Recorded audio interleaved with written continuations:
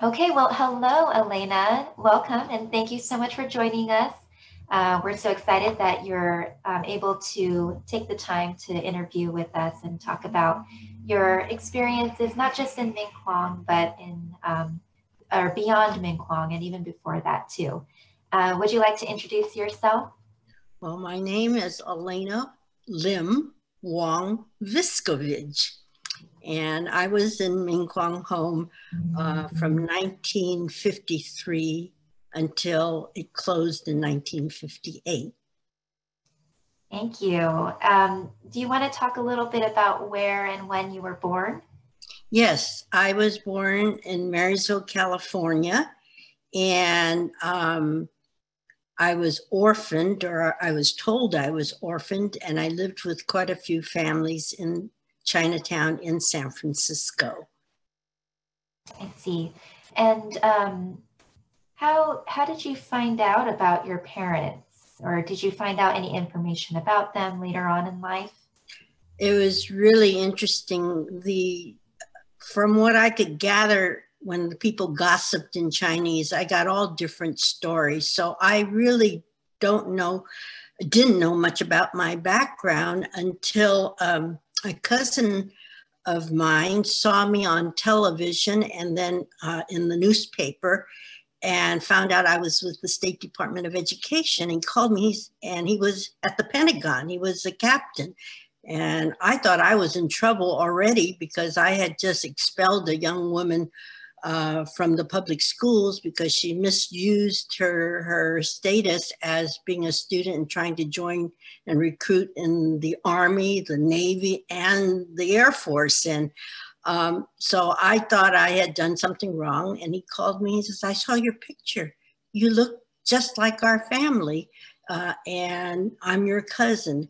And so from there, I got to know more about that family, but it was really kind of shocking and not uncomfortable, but I wasn't sure how to take all of this until recently um, when I found uh, uh, I, I, went to a reunion with all these cousins and this huge family, and I saw people that looked like me, and we had freckles. And I go, oh boy, they must be related to me. But more than that, um, I was tracing uh, their backgrounds and found a habeas corpus document. And it showed that my grandfather was born here in 1880 in San Francisco. So I've been delving into the family history and it's it's really quite interesting because now history is a reality and I can see the tie-ins of how things happen. Wow, that's very interesting. Were you able to find other family records uh, by researching the genealogy? Yes. Um, first of all, um, when I went to the home, there wasn't much information, Ming Quong home, there wasn't much information on me. And so when I finally went to work, uh, the phone company had to do a security uh, vetting of me because it was a security building.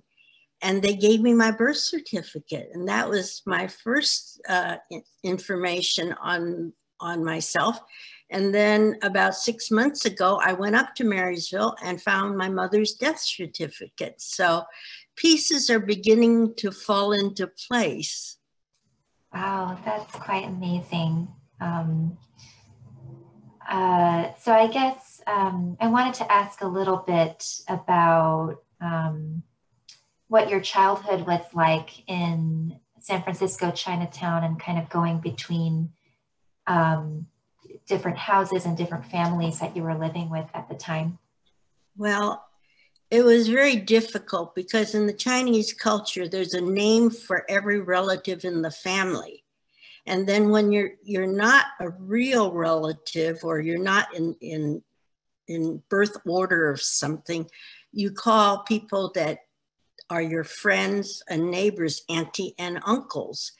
And I I never knew who was real and who wasn't. And so it was difficult for me uh, living in San Francisco. And I was a very precocious child. Uh, when I didn't like a when I, I, I went to about seven schools by the time I was in the second grade. And if I didn't like the teacher, I would pretend I didn't speak English. But meanwhile, I'm listening and I memorized all the pre primers and the primers so I could recite any page they wanted. And they just didn't know what to do with me. And anytime I didn't like something, I'd run away. And you could find me at the um, the Young Museum. You could find me at I. Magnin's department store or sneaking backwards into a movie house to see a, a matinee. So, and I, I knew every bus driver and streetcar driver in San Francisco. So I really got preferential treatment from them because they kind of watched out for me and their wives always had an extra sandwich for me. So I had something to eat and then you know uh, I, I just survived that way for many years oh i see um, and so I, am guessing that school was just uh, lots of ups and downs probably and um, you it probably was, yeah mm-hmm. it was really difficult because you know like they would say oh it's mother's day you need to make a card for your mother and i'm mm-hmm. going i don't have a mother and they said, well, do the best you can. So I just found that was kind of insecure or that they just didn't know any better, you know. And so sometimes if I really respected a teacher, I'd go to school and to her class. If I didn't respect them, I'd take off. You know, I would show up for the beginning of the class perhaps, and then by lunchtime, I'm gone. so I, I did some, you know, things that were hard for them to control, shall we say. But I did also learn a lot because one of the things I remember in the um, fourth grade is um, she was talking about an American can be president. And so, you know, me, I said, well, then I can be president of the United States. And she says, no, you have to be an American. And I says, I'm an American. I'm also Chinese, but I'm an American. She says, No, no, no. I mean, you need to be white. And I go, Oh, well, that's not what it says. And we got into argument and I walked out. I was sent to the principal and I didn't want to see the principal. So I just left for the day. That's a good call, I think. especially because you were right. Um, you were you are an American, so yeah. Um, well, uh, I guess how did um, whoever was your guardian at the time? How did they hear about Ming Quong and those services, and, and how did you end up there? You know, um, I was in so much trouble, you know, I that uh, I would take library books and didn't return them, things like that. And so I had some contact with Cameron House in San Francisco, uh, but I'd never had the 25 cents for the offering or for the extra activities. So I went sporadically, and I really don't know how. Um, I was placed, uh, who placed me in Ming. All I remember is uh, in January 1953, it was a cold, cold, clear day, and I was taken uh, by car by a person they called my father, who I never saw, so I didn't know who he was, but I just sat there. And I figured, well, going somewhere is better than staying where I was. So um, they drove me down to Ming Quong home. It was just before lunch. And you have to picture me. I was truly the ugly duckling. I was 50 pounds. My skin was very yellowish. I had a double row of teeth because they never pulled my baby teeth. So teeth were coming either in the front of it or in the back of it. And uh, when I got there, it was close to 12. So this person turned me over to Miss Hayes, the director, and she said, Would you like lunch? And I said, Oh, yes, lunch, you know.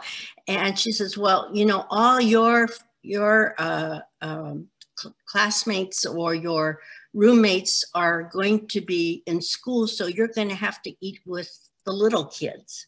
So I sat at Miss table and uh, the menu was grilled cheese sandwich with salad, milk, and uh, ice cream. Well, I gobbled everything up and she said, Would you like seconds? And I said, Oh, yes, please, but not the salad. So by the time they got through with me, I ate three grilled cheese sandwiches, drank two eight ounce glasses of milk, and had five double scoops of ice cream. I thought I was in heaven. And then I was, you know, I was looking at the little kids and said, what am I going to do till some kids my age show up? And so I said, could I please watch the presidential inauguration? And Miss Hayes looked at me and I think she figured out I was going to be trouble.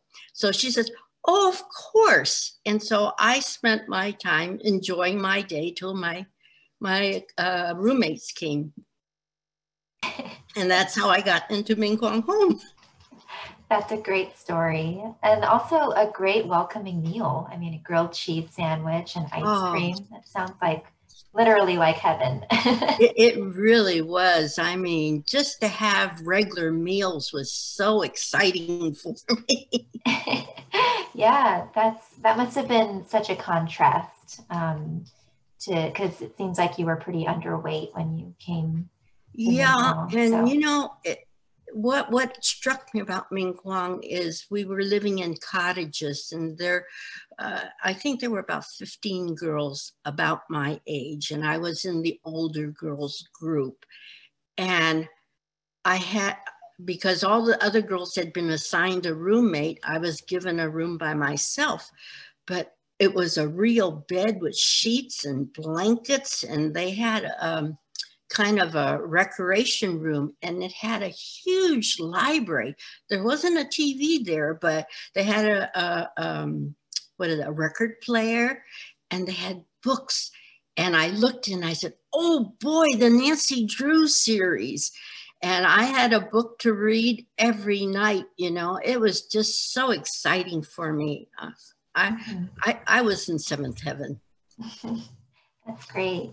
And uh, I know that the last time we talked, you talked about um, sports and kind of uh, uh, learning how to play. Well, I think you learned how to play tennis in San Francisco, right? And then you yes. probably continued some sports in Los Gatos. Well, you know what was interesting is um, Los Gatos, in terms of a school system, was was just so unique because they had such high standards. And so I really had to scramble because when they looked at my transcripts, they promoted me a year ahead of my class that where I was in San Francisco. So I went into the sixth grade. And this Mr. Penniman, uh, I kept on getting uh, B pluses. And I said, gee, what's wrong with my papers? They're beautiful. I mean, it was gorgeous handwriting, and I had pictures and illustrations, and margins were straight. And he said, Well, you know, I need you to think. I need you to ask yourself questions. Why did somebody do this? What was it from his point of view? And then how do you feel about it? And you need to write this into your answers. And um, I'm like, oh gosh, I better scramble. And one of the things is math. I was always good in, in computations. When I was in uh, school in San Francisco, I was in um, a low fifth, high fifth grade class. And so I would sit near the high fifth so that when I learned all my low fifth grade math assignment, I'd listen to what the high fifth grade and I do it too. And I would be very quick and I felt, you know, pretty competent in my skills. But when I got to Mr. Penniman's class, I didn't want to B plus. I needed to A. I needed to be on top of the class. And I couldn't get mad at him because there was no way to run away uh, you know, it was a long ways from downtown when you're a little kid.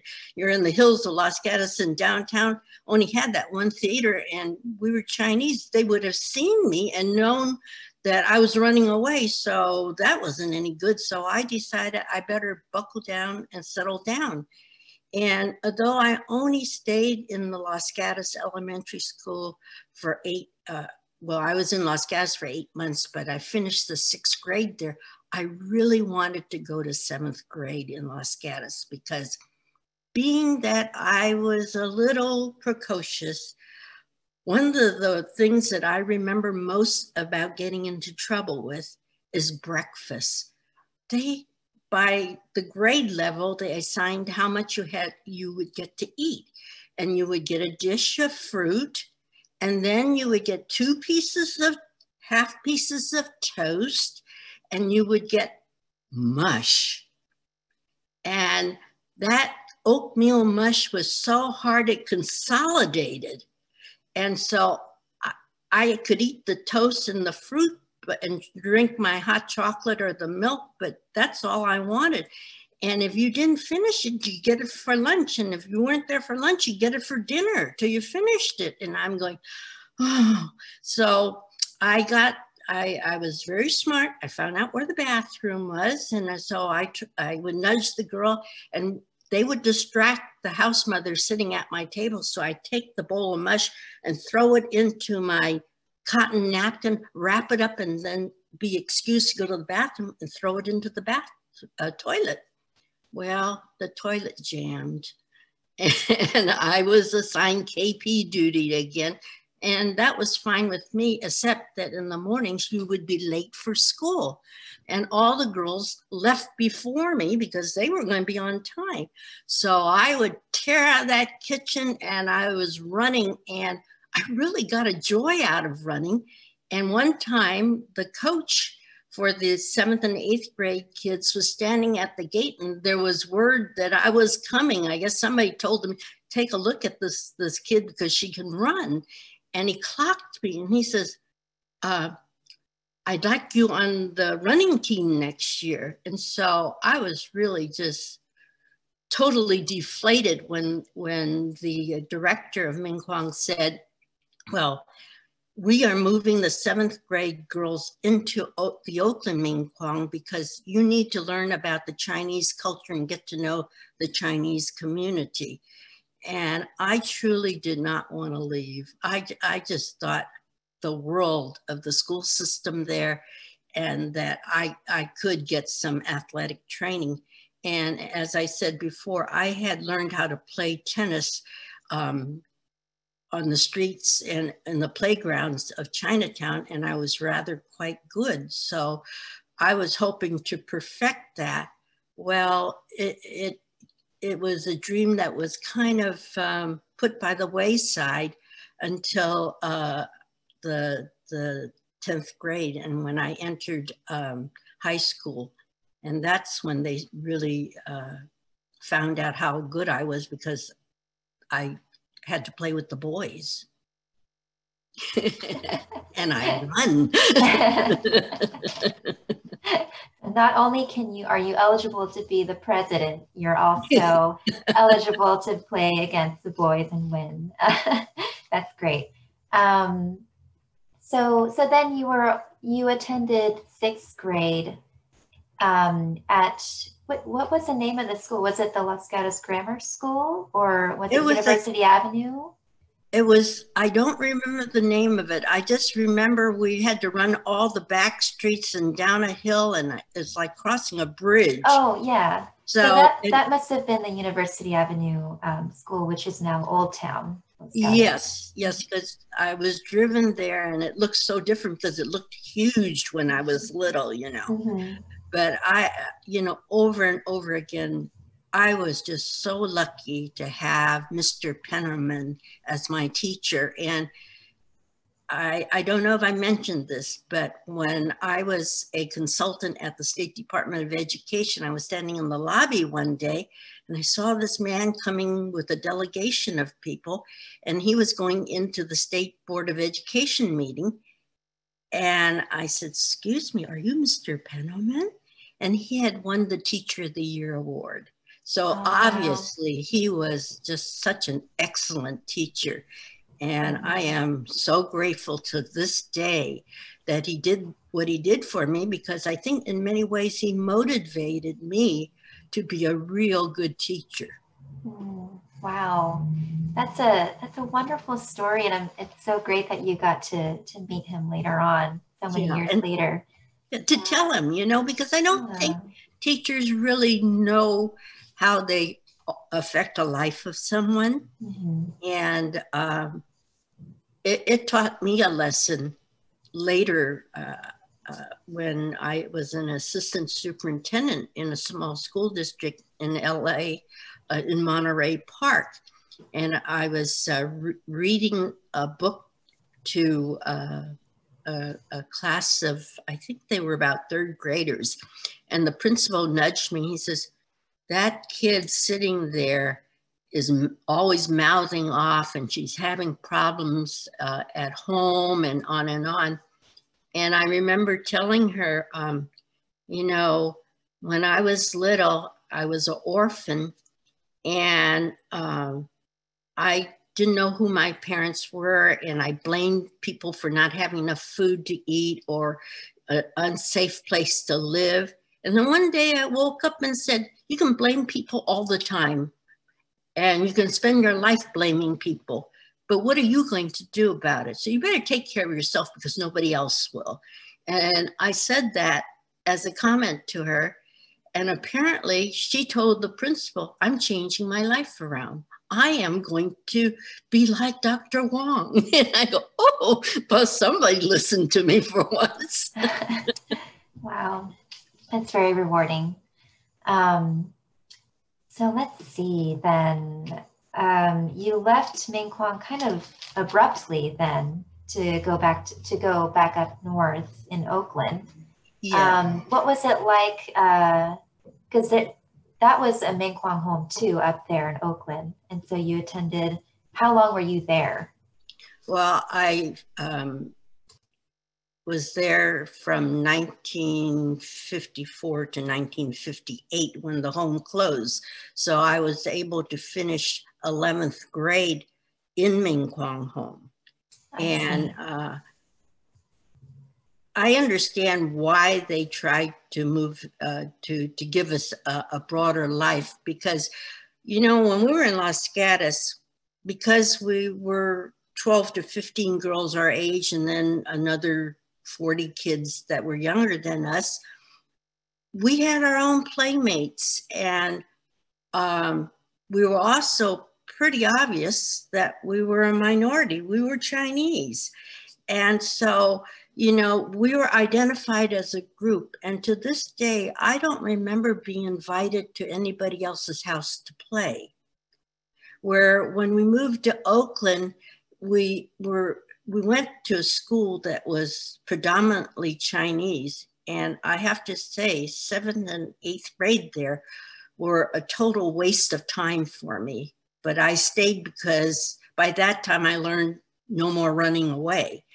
And it wasn't until I, I got into the ninth grade that I began being um, stimulated by, by what I could do. And, um, you know, since I had excelled, I was always placed in the college prep or the advanced placement classes.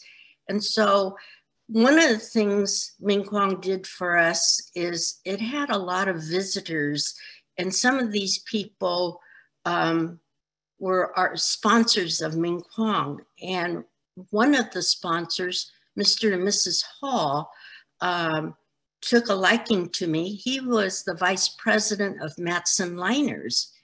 And um, I got a sense of what home life really was. And they had grown children, so they always encouraged me to go to college. And they were always talking about their experiences. And one went to Stanford, another went to Cal. And I figured, well, since I don't have any money, I don't think I could go to Stanford. But uh, because our high school, although it was a technical high school, it had a very strong academic program for college. Um, and I had a wonderful PE teacher. She encouraged me, and um, I was probably one of the few young women at that time that got my block T athletic um, um, sweater by the time I was uh, in my junior year. So she saw my potential and she, you know, encouraged uh, uh, me not only to, to competitively play, but there were people that would also coach me that were from a country club or whatever. And so I was really given the best that Ming Quong could give me. And, uh, you know, I, I've been very fortunate in that sense. But when the home closed, it was devastating because I was given two choices. You could um, go uh, back to a relative, or you could take a job as a care uh, caregiver for a nanny for some family. And I was never quite uh, domesticated enough to do chores and cook and things like that. And I saw the director's face, Miss Musgrave, and it, she was in such pain in trying to place us because she was just devastated the home had to close. So I lied. I told her, Oh, I'm going to my relatives.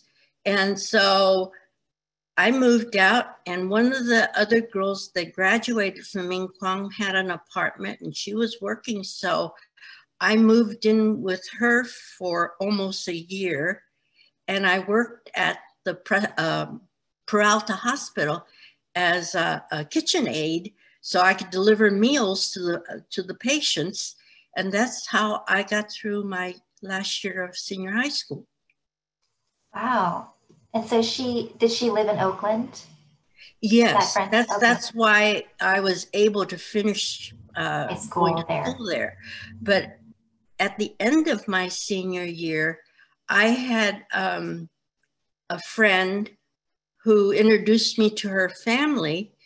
And it turns out that her aunt and uncle adopted me after I graduated from high school. So oh, my dad is a, was a six foot three Irish American, and my mom was a five feet round Italian American, and mm. they they did well by themselves. Um, my dad was in real estate, and my mom owned an Italian restaurant with her sister and her mother.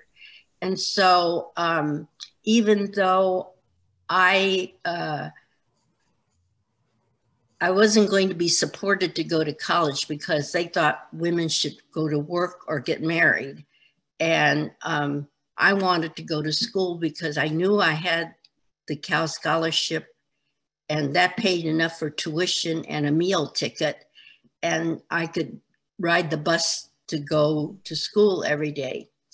And so um, they supported me in that. And then they were so surprised because came to a tennis match at the Cal Stadium there.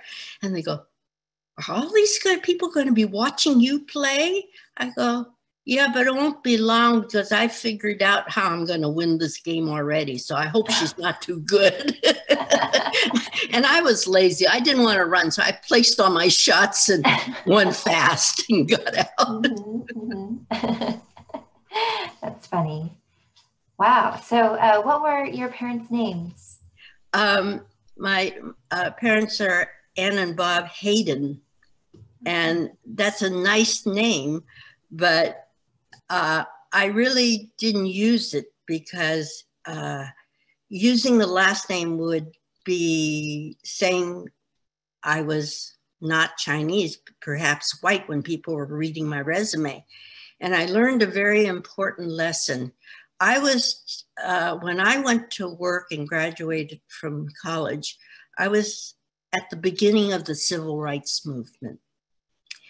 And I remember uh, I, I turned in my, my application to a very prestigious department store.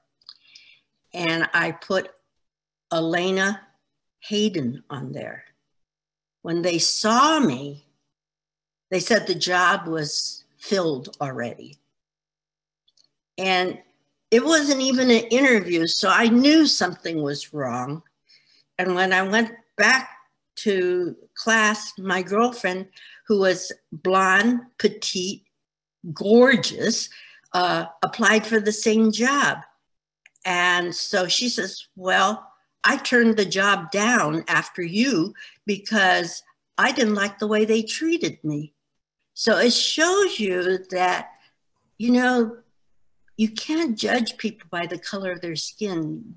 There's a, there's something wonderful when somebody has that integrity that she could say, I can turn that down because it was the wrong thing. And so, mm-hmm. you know, you always take those as lessons because uh, the orphanage taught us that to stand up for those who couldn't do for themselves and to always tell the truth. Now, sometimes if you don't ask me, I'm not going to tell you, but I will tell you the truth if you ask me. And to try to do it so that you don't hurt people's feelings. Right. Yeah, that's a great lesson. Um, and, you know, I just thought of how Ming Quong just exemplified that, right? Because um, they were taking in Chinese girls because nobody else would, right? Um, so these other agencies or, um, you know, childcare type of things or orphanages were really limited in terms of who they would accept. So, yeah, you know, yeah. to the time period, I mean, when you look at history, the fact mm-hmm. that when Ming Quong was started in 1925 in the Oakland Hills, um, it was the only institution in the United States that would take Chinese girls or Chinese American girls or Chinese and, and mixed marriage girls. And they were coming from the East Coast, from Panama, they were coming from all over. I don't know how they got there, but when you got, uh, there was no acceptance of them anywhere else. And then it wasn't until, you know, the 1950s be, be, before that turned around, before the courts were getting some of us because we were um, in the juvenile courts for many reasons. But um, it, it's it's striking that over time things change and referrals change. Yeah, definitely. Um, and I know one of the reasons you wanted to do this interview is to sort of correct some uh, misconceptions uh, regarding Ming Quong and um, the, the girls um, and their backgrounds. Do you want to talk a little bit about that? I do. Let me preface that by saying that my career um, has taken over so much of my life. And so I have lived in Oakland, San Francisco, Sacramento, Monterey Park, San Gabriel Valley, and then up to Sacramento, and then uh, to Stockton as my last employment. And so I hadn't seen these girls since 1958. And but I kept in touch with one or two of them. And so one of them told uh, uh, Uplift Family Services that bought Ming Quong home that there was going to be a, a celebration of Ming Quong and there was going to be a luncheon, and then there would be a reunion at the um, Gatos Los Gatos Museum, and then we would be able to have a reception over at the Ming Quong home on Loma Alta Avenue. And I said, "Oh wow! I haven't seen some of these girls for 40 years. This is going to be fun." So I went, and um, I I was uh, so happy to see my friends, my sisters, because I wanted to know what happened to them. And by the time we got to the Los Gatos Museum, I was flabbergasted because uh, it said they're um, uh, orphans of prostitutes. Uh, Ming Quong, a rescue home for prostitutes, were some of the headings on the things. And I kept on looking at myself and I said, that can't be because that's not us. And so I decided, well, what can we do about it? And so two of the girls wrote the San Jose Mercury and tried to correct it. And it didn't go very well because they said, well, if you want to correct something, you can write a 150 word rebuttal and uh, we may print it. I said, no, we're not going to do that. So I, I decided to do some research and I am an academic kind of person, you know, I document everything and I've learned how to do it through the dissertation. So I found out that it all started because of the work of a very powerful feminist missionary, Donaldina Cameron. She went to um, the Presbyterian Mission Home in 1895, and there were rescues going on four victims of human trafficking that were Chinese from 1877. So she came in and she was really moving that, and sometimes at the um, uh, unhappiness of the people that that were the sponsors of the Presbyterian Church, which were men that were the deacons. But it was the wives that said, no, Donaldina, you need to keep on doing this. So she was known for this and, and uh, that went on for quite a time. However, by 1915, the mission home in San Francisco that took in these victims of human trafficking were also picking up children that were uh, neglected off the streets of San Francisco, boys and girls. So Donaldina Cameron um, and the Tooker sisters decided they would establish a Tooker Memorial Home for Chinese boys and girls and it was accepting children all over the place. Ms. Cameron felt that it was wrong to keep the victims of human trafficking and the young children together because um, they were learning um, about the victim's lifestyle. The, their, their language was uh, left a lot to be desired and the kids were picking up a lot of swear words and bad words and and so she moved them to Oakland in 1915 to Tooker home. Well, by 1925, that had become overflowing where she was renting some flats nearby to house the extra children. And um, she was really quite a fundraiser. She met uh, Captain Robert Dollar, and she told him about the problem of not having enough room and um, how she was going to work with um, the Baptist church to open Chung Mei home for the boys, but she still needed room for the girls. So Mr. Uh, Captain Dollar donated enough money to build Ming Quong home in 1925 on the Mills College campus. And it was there that um, the, the problems of the community were still coming with kids that had tuberculosis, asthma, and such. And so Donaldina Cameron said, well, we need to expand Ming Quong to Los Gatos. So they opened Ming Quong Los Gatos in 1934, first for tuberculosis and for uh, asthma and, and the respiratory problems. And then she said, uh, and the Chinese community by then had grown. There were marriages, there were children.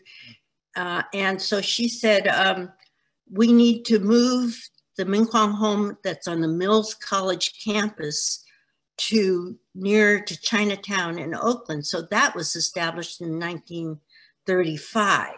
So you can see there was a huge span of time, and yet because of the sensationalism of Donaldina Cameron, people link everything all together and don't draw the distinctions of the locations and the functions of Ming Quong Home versus the missionary home that was a rescue for prostitutes.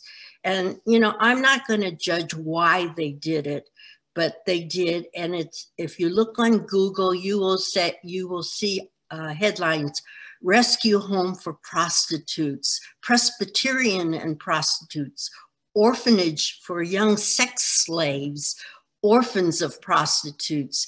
And I thought, oh my gosh, we've got to get this corrected because for many of us, we had little to nothing.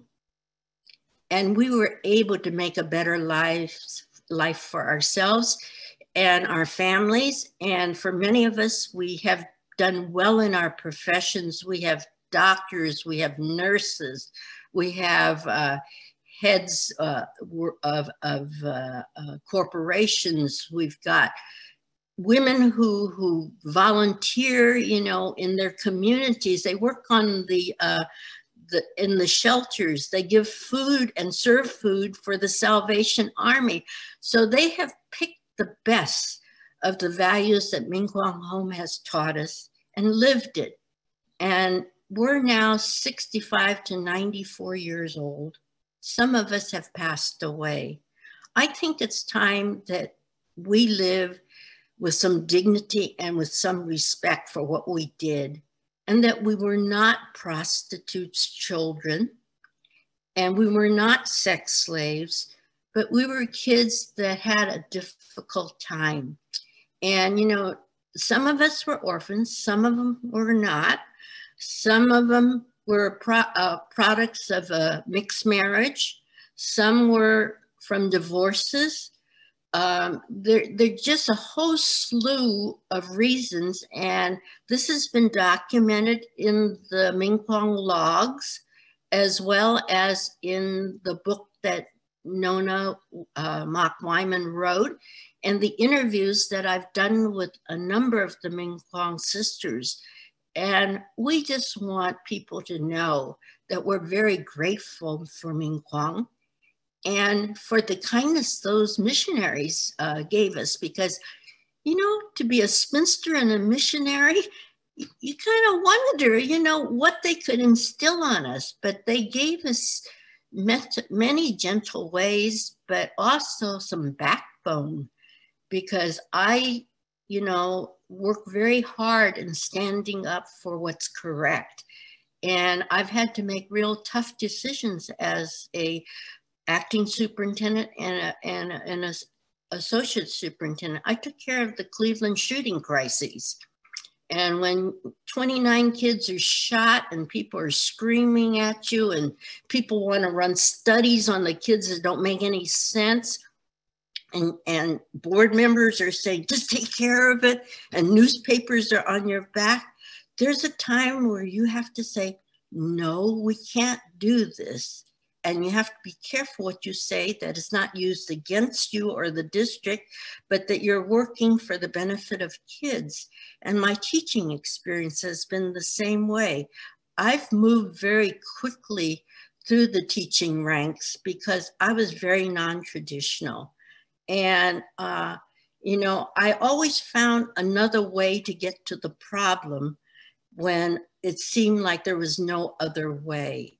And it's been my privilege to work for people like uh, Wilson Riles because I was brought in to help put meat to the bones of some legislation by writing the regulations and then training my my peers to monitor that.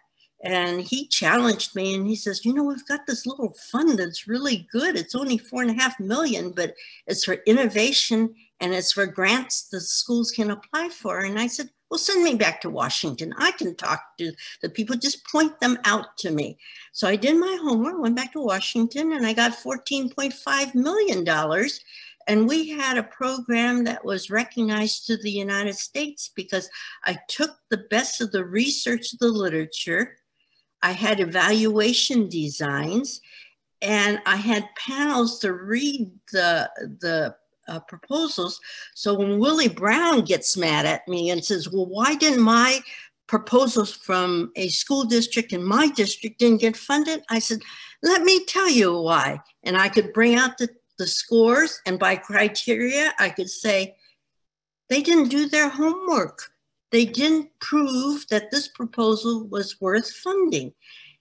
And it got around that, you know, she knows what she's talking about and she has a system that makes it work. So I have learned that people give you the benefit of the doubt if you have a good reason for what you do. And so I've been lucky uh, to have that advantage. And I, I, am just really pleased that you're doing this project because Ming Quong has influenced so many lives the volunteers there, even the kids that gave us a party at Stanford, showed us that you need to get, prepare yourself in order to go to college. You need to know where you're going and how to get there and what sources are available for you. And so, you know, we've benefited from the best. And it just shows you that kindness, caring, um, wanting to do better for yourself or have others wanting to care for you, you need to know where to trust that. And that in spite of all the conflicts, there's still a way you can get to your destination. Very, very well said. Thank you for sharing all of that. Um, yeah, I mean, by now, Daniel and I have met maybe about six of the Ming Quong ladies, and uh, we're just always blown away every time we talk to uh, any of you because not only of your accomplishments and and how you went from having you know nothing to you know just going off to college and and graduating and um, having families of your own um, you know being very uh, established in your careers all of that stuff. And also um, just your personalities are so awesome. And um, we are different aren't we? I mean you're all very easy to talk to um, very gracious very kind. And so it's been such a wonderful um, uh, journey just talking and getting to know all of you. Um, so thank you so much for sharing that and sharing the history about Ming Quong and Donaldina, dina cameron as well. Um, that is definitely i mean even after all this time, I still feel like there's lack of, of resources out there that um, have, you know, that solid research and which is kind of astounding to me, but you know, well, hopefully, you know, it, yeah. it's going to change because I think mm-hmm. once uh, I finished the PowerPoint last week and it's got to be edited and cleaned up but um, and I have a list of the literature and the reference sources by page. And, um, you know, from 1877 to 2024, it's going to be 16 decades. And I think it's time we correct the misinformation. You know, it, it's yeah. just only right. And I think because most of the girls have have either uh, just ignored what happened to them in order to survive, or they have found it's just too much work fighting it. Because when you come up with a big newspaper and they say that, what are you going to do? You know, write that 150 word rebuttal, which you get on the back of the first page that is condensed to one paragraph, that, that's not going to do it. And um, I'm hoping that we will be able to work with people rather than come after them with a hammer. Uh, I want you to know what was really exciting is one of the Ming Quong girls that I found, who's 94 years old, um, she has dementia, so it's difficult to interview her, but she wrote a biographical sketch because she volunteered to raise money for the community center at Technical High School where she graduated in Oakland. And it told all about her, and I couldn't find her. I went on Google, so finally I found the lady that wrote the biographical sketch. And she gave me uh, the phone number of this woman's son. He's a former district attorney in San Joaquin County. So, you know, we have resources that could go the legal end, but we choose not to because I think going with with being nice about it rather than going with a big hammer gets a lot more done. And, you know, I'm still alive. And so I figure I have about five more years before I get kind of senile, though I do forget things that we can get there.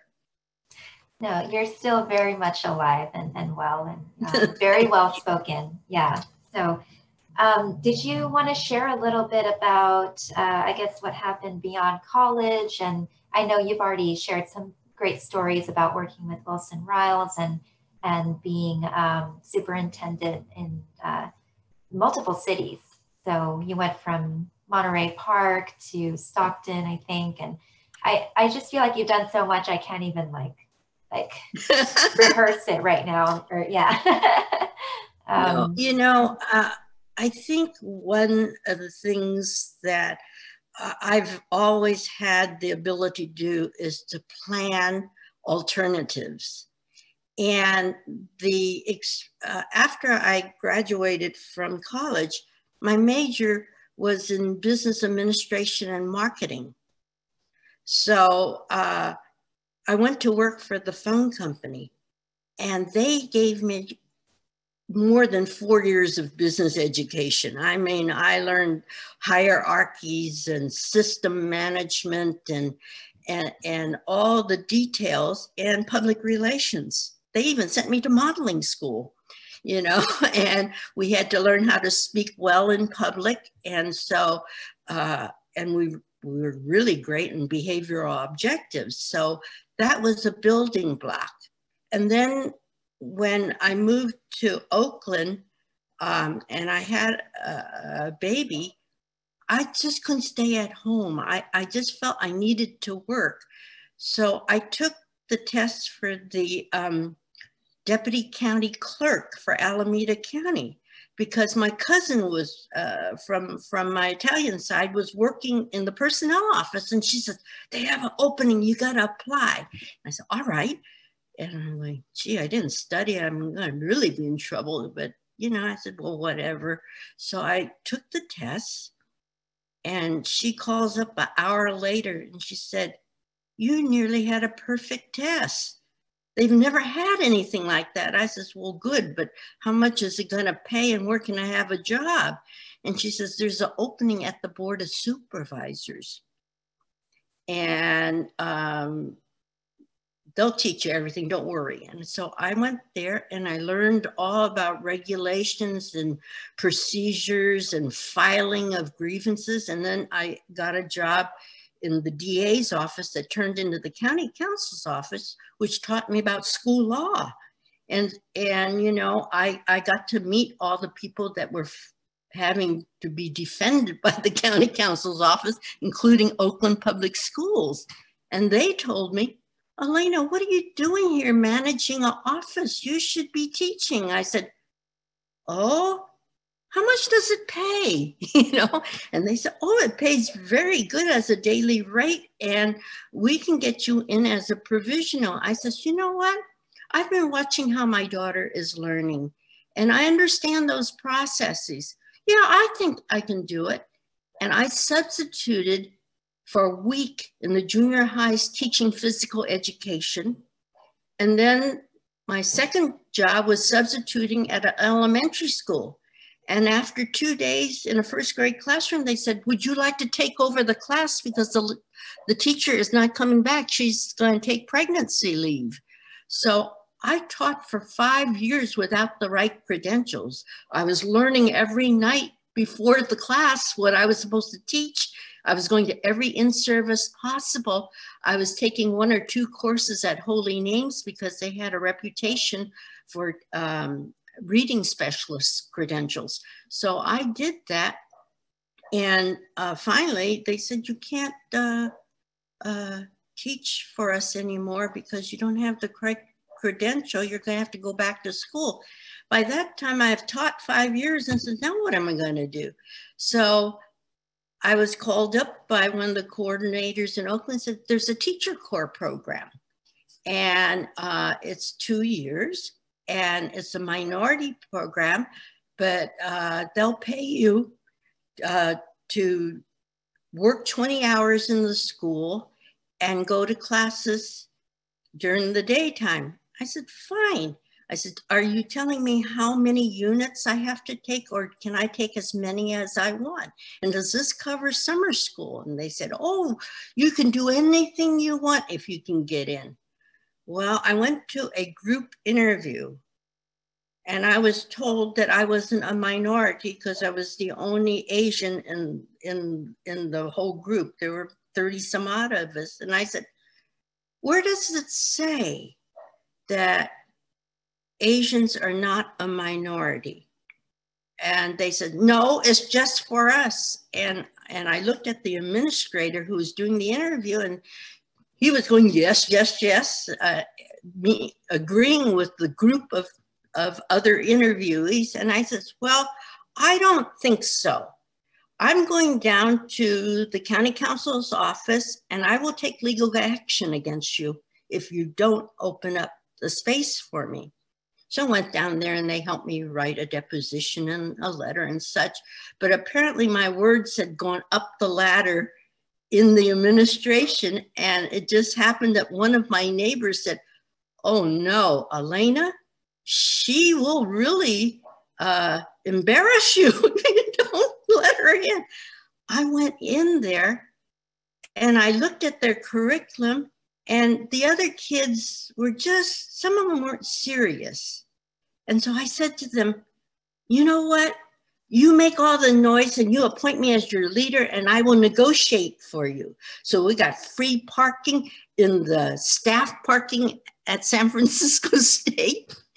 you know, we got free free lunch tickets so that we didn't have to pay for our lunches.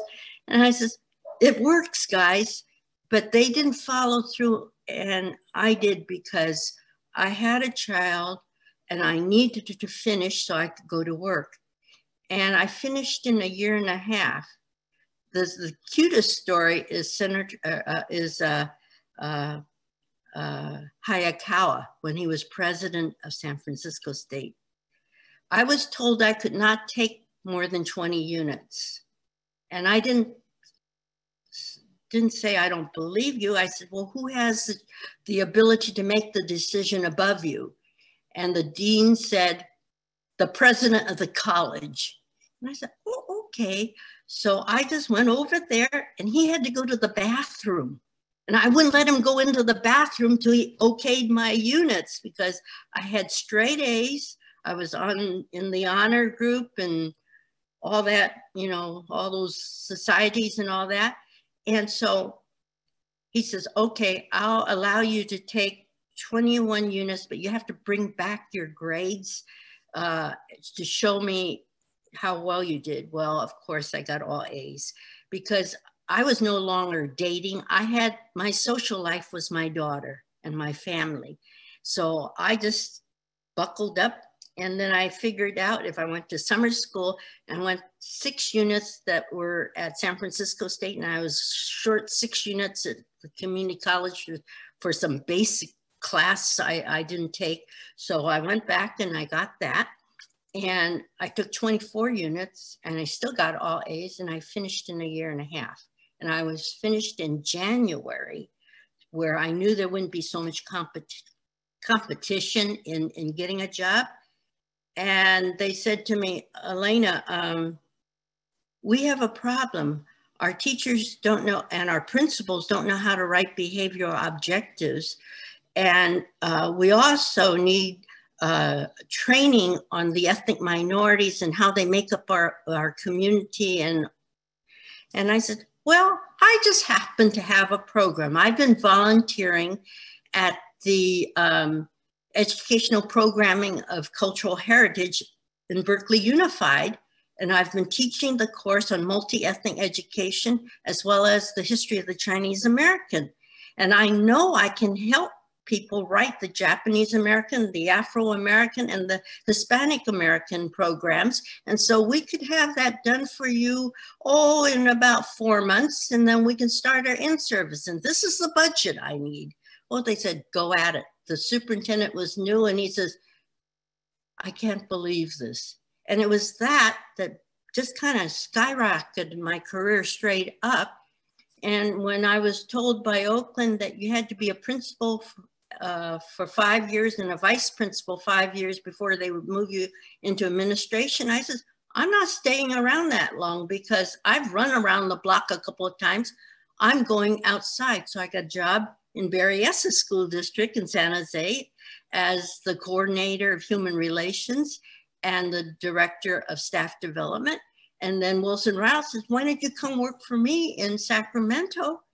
And I did that, you know, and then when Wilson left and Bill Honig came, uh, the funding for my innovation uh, project dried up and I, I was relegated to nutritional services, counting how many turkeys we could convert into cubes to send out to the schools. And I'm like, oh my God, this is a waste of time.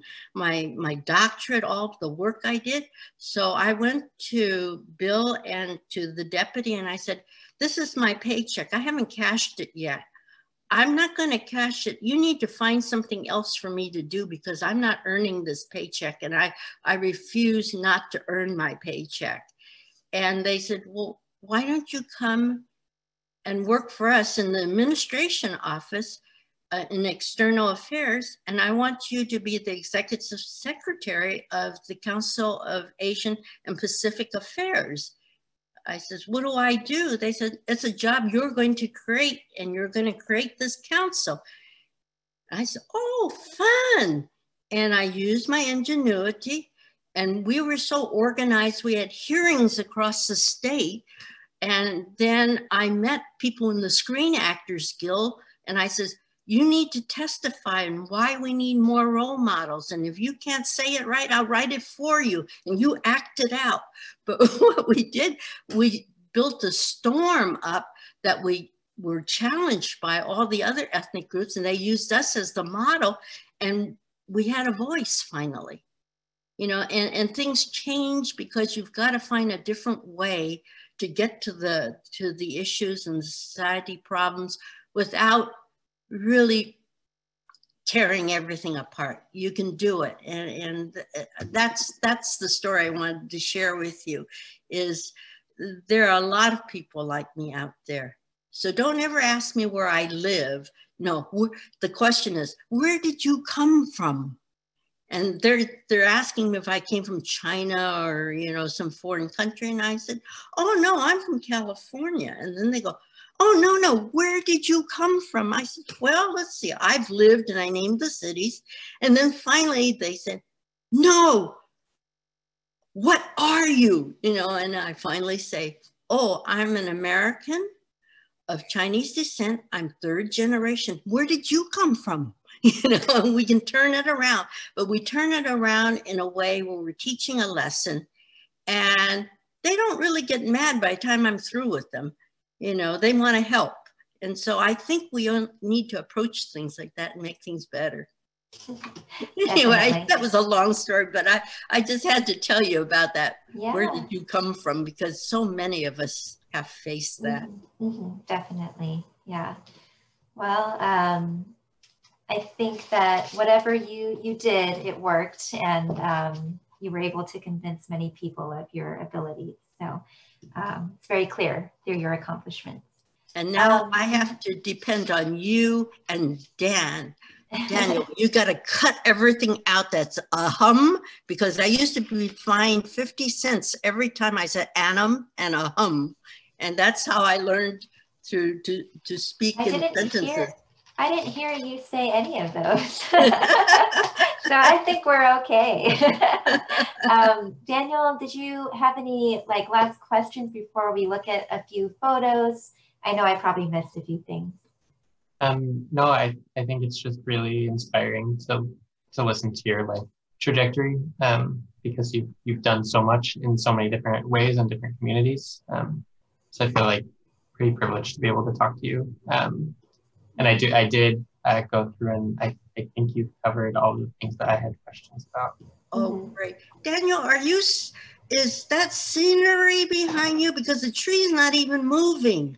It's fake, yeah. Oh, Um, oh, it's a, a, a screenshot we, behind sh- we share a workspace, so I was trying to be um, incognito. Yeah.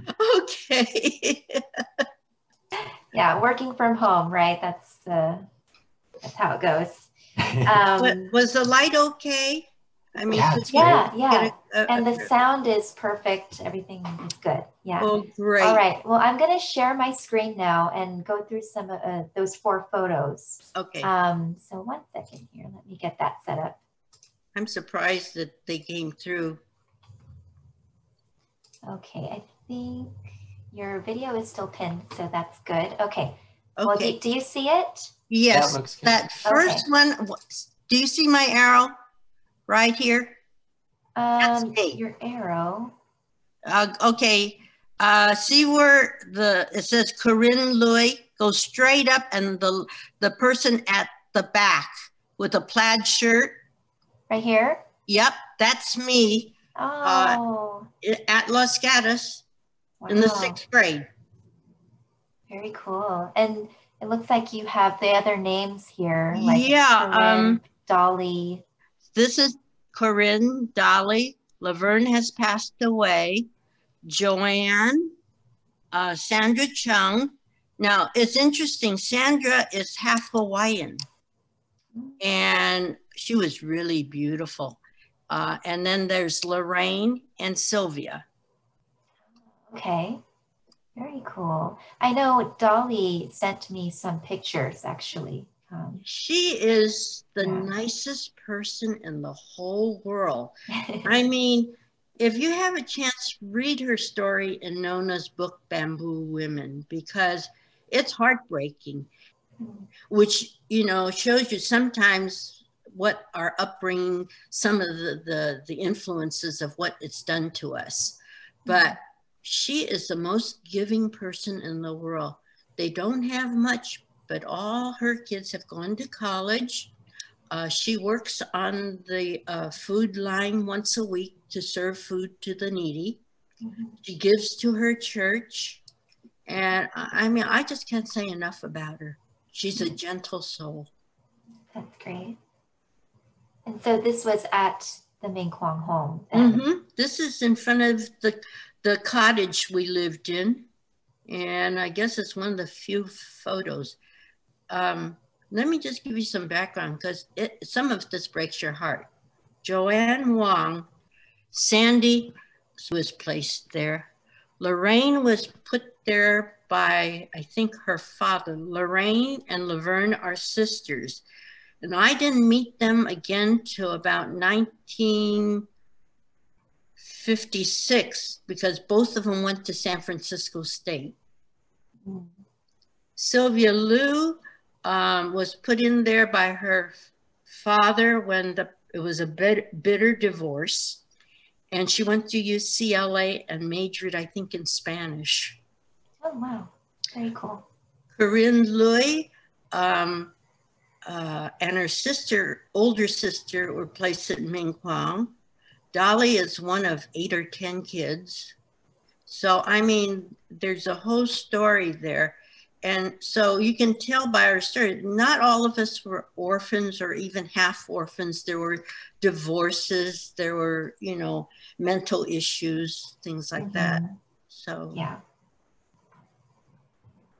this is uh, 1979. This is my uh, uh, doctoral picture that they Wow. they put in the state newspaper or whatever they did with Mhm. that. Okay, Very nice.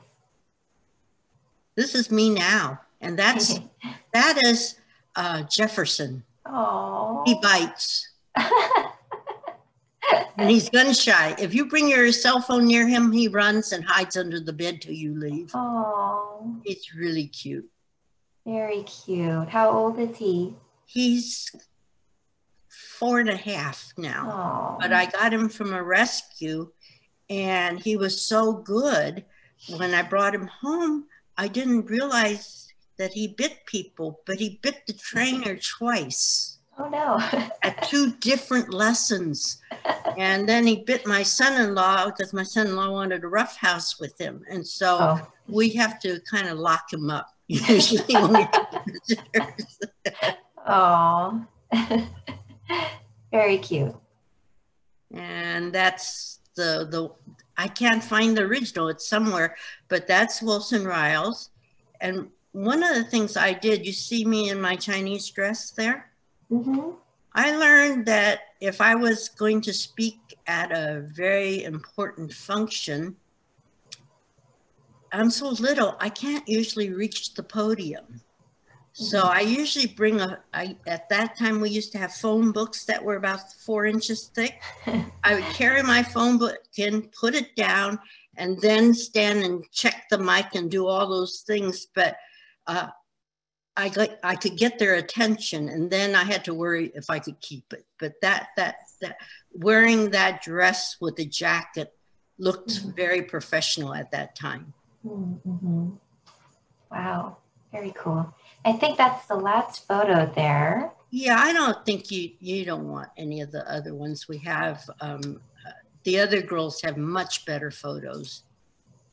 Yeah, um, and besides, you can't stick all those in there. You're supposed to be doing some uh, a project on Ming Quong, just not on us and the, whole thing about Las well, no, this is all wonderful information, um, and it's it's an honor for Daniel and I to be able to get to know all these folks and um, to be able to put these eventually up on the website for people for the public to um, access. How so. did you guys come upon this project? What what what started it? That's a good question. Um, so uh, we're both fairly new librarians, and when I joined Los Gatos Library, I was a first-time librarian um, three years ago, and um, I was put in charge of like coordinating the local history section, the programs and the volunteers and, and such, and um, I think over over the years, um, and then Daniel joined uh, maybe about two, one or two years ago. Uh, over the years, we kind of worked together, and we we found that um, there was a lot of history that was missing from the history room and from our collections. Um, we found that most of the focus in our records was on um, you know, European settlers um, and the stories of their families. Um, lots of stories about uh, basically uh, people that were not minorities, mm-hmm. um, even though there were um, Japanese American families um, who were farming in this area. There was also, of course, you know, this is a um, Native American land as well, but we didn't really uh, have a lot of information about that. And so, um, you know, we wanted to sort of put out a call um, to see if anyone would want to talk about their experiences because they're missing from um, our local history section. And, and so Daniel um, sort of headed this project and um, thought it would be really cool to do these interviews. Um, and it's definitely a really great project. So uh, we're very honored to be working on it. Well, it's going to be interesting how you maintain that over time because mm-hmm. I, when I was doing my research, I went, I called the Oakland Library and then I went down there because they had I guess in the uh, early 60s, a whole exhibit of Ming Quong home. Mm-hmm. And one of the Ming Quong girls put it together, and she's got dementia now. And so you can't talk to her. So I went down there, and the display is gone. There's only a few paper clippings, newspaper clippings, like the t- traditional way of how you find things, you know. And I uh, that's when I got the deed of the Ming Quong home and, and established the buying of the land and said, of course it couldn't have happened in 1877 because it wasn't there. Mm-hmm. You know, and that's how I started proving things as I had in my own head. put down physical locations and then put dates of when they started. Now, that doesn't tell you all the intricacies, you know, of the human things that go on or how kids were moved from one flat to another because there's not enough room for them, but there's no record of it. There was, um, there are, and then I went to Stanford Library and there were two books there and one was so old that it was moldy smelling and I kept on sneezing. So I couldn't, and the way it was documented, it, it's not the kind of documentation I'm used to, where by page or by the end of the chapter, you have footnotes and you can find, you go back and find those. The, the, first one didn't have it. The second one by uh, Martin Crow, Crowl, C-R-O-W-L, was very well documented. And it's not until uh, Judith, Ju, Julia Siler and her book about Cameron House that we could find some of the things because she's a journalist by trade. Mm-hmm. So I was able to delve some of that. And then I finally wrote her and said, What did you find out about this and that? And she says, she never called us victims of prostitutes or any of that. So mm-hmm. I, I, had to tell her the story about it. And so we went to Cameron House and then I found the actual picture, pictures of Tooker Home. And oh, they are darling. These little kids, they had to be two, two and a half, and little boys in coats and hats, and little girls in hats. And they were the first children. And uh, uh, we found that. And then I said, Could you go back? And I had the Ming Quong log, and it was misnamed because if Ming Quong Home didn't start until 1925, it had some entries in there from 1911. And then I looked at the handwriting and Ming Quong was scribbled on there like it was an afterthought, like they somebody picked up this this whole register and didn't know what to do with it. So they just wrote on there. And so I went back and I went to, I think it was 1911 and 1912, and I found a name. And and I said, could you at Cameron House look up this name and see if you have any papers on this person? And they did. She lived, it says, so and so is living at Tooker Home. This is to certify her living uh, address. Uh, she is learning English, and this was to the immigration department who wanted to deport her. Hmm. Interesting. So, I mean, it, it's really interesting how all these things are tying in. And um, yesterday, uh, I got a note from uh, Jerry Wong, who is kind of like a Chinese, uh, she used to be columnist for Asian Week, but she still has kind of a blog that she sends out every day. And she says, take a look on um, YouTube. There's a um, uh, interview uh, on Chinatown today and tomorrow, and it's by William Wong. And William was a columnist for the Tribune and the Associated Press, so he's pretty well known. And what I was struck about the whole thing is he showed three pictures of 1906 of three Chinese families that had two generations or more and the background on them. So it shows you that although the Exclusion Act did not have many Chinese women allowed into the country, and the men came in, had to be merchants or scholars or diplomats. One of these people, two of them were merchants. One was running a restaurant, another one was running um, a store, and the last one was a um, what do you call it, the herbalist. And the herbalist was March Fong Eu's grandfather. I don't know who that is. March Fong Eu was uh, Secretary of State for California. She was oh, an okay. ambassador for Guam. She was on the Board of Education for Oakland Public Schools. Wow. Okay. And so, you know, uh, she's kind of a role model for those of us yeah. who grew up in Oakland that we knew some people had succeeded. But mm-hmm. to, to see that shows you that it's mm-hmm. more than reading some of the uh, census records, or I went back to um, yeah.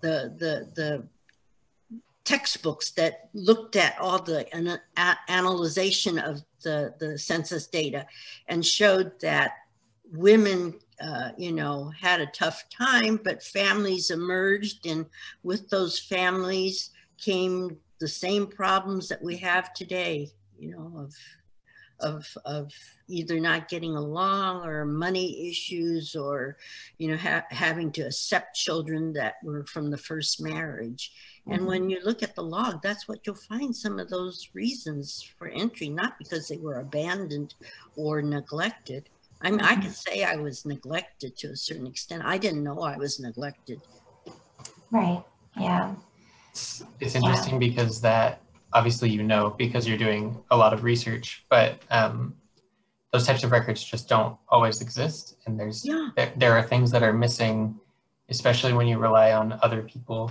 to tell stories that don't relate to their own lives. They they use whatever is at hand, whatever was actually written down by right. whoever wrote it. Yeah, and so it becomes a word. exactly. So collecting these types of stories, even you know, depending on what people want to research in the future or need to know about the history of the town, the history of Ming Quong, uh, there are some things that you can only learn by hearing people tell their own stories and their own yeah. lives. Yeah, exactly.